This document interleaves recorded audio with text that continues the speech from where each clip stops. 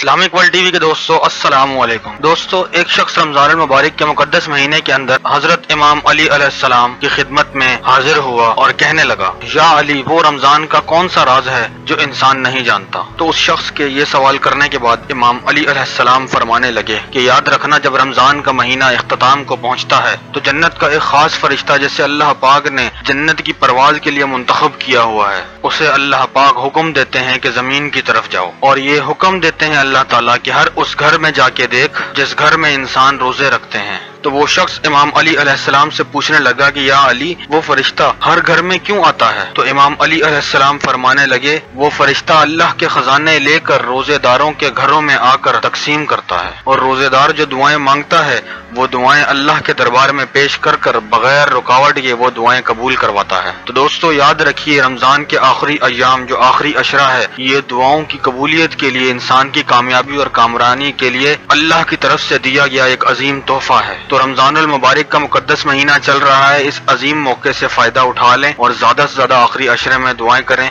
मुझे भी अपनी दुआओं में ज़रूर याद रखिएगा। मिलते हैं एक नई वीडियो के साथ। असलकुम